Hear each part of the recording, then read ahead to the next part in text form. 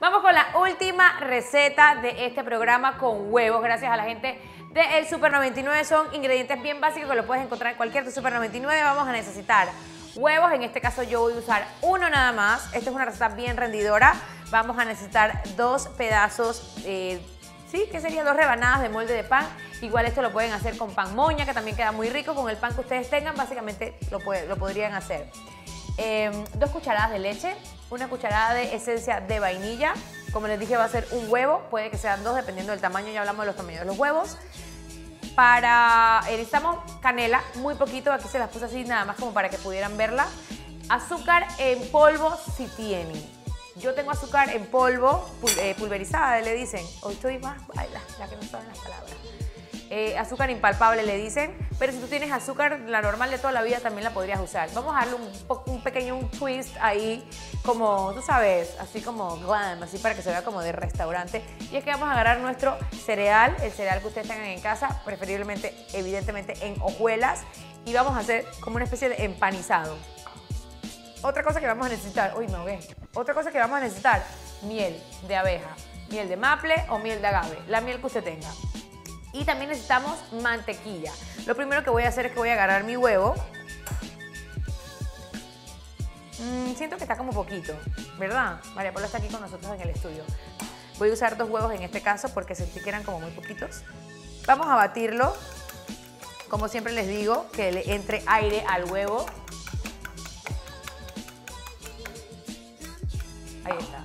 Entonces vamos a colocarle las dos cucharadas de leche. Muy fácil esto, es súper fácil. La cucharada de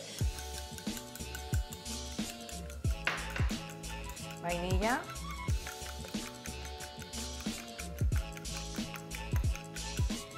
Y aquí va a ser literal una pizca. Ahí está, porque la canela tiene un sabor súper fuerte, así que no necesitamos mucho.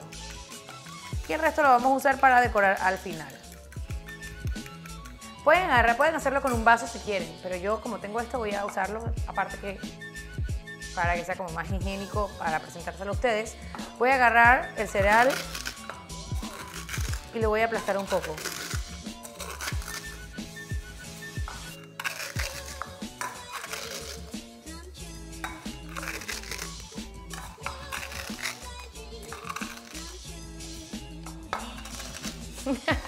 Cada vez que hago así, María Paula, que está del otro lado de la cámara, como si estuviera pasando algo terrible. Ok. Importante, espátula. Importante.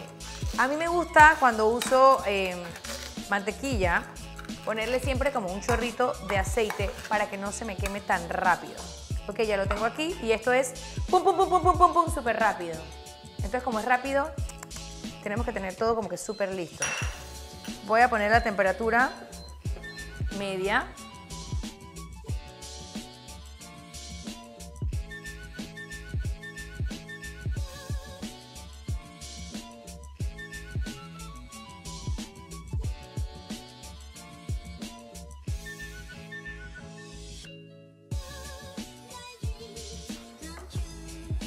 Voy a colocar como media cucharadita de mantequilla y van a ver que esto rápidamente va a agarrar vuelo.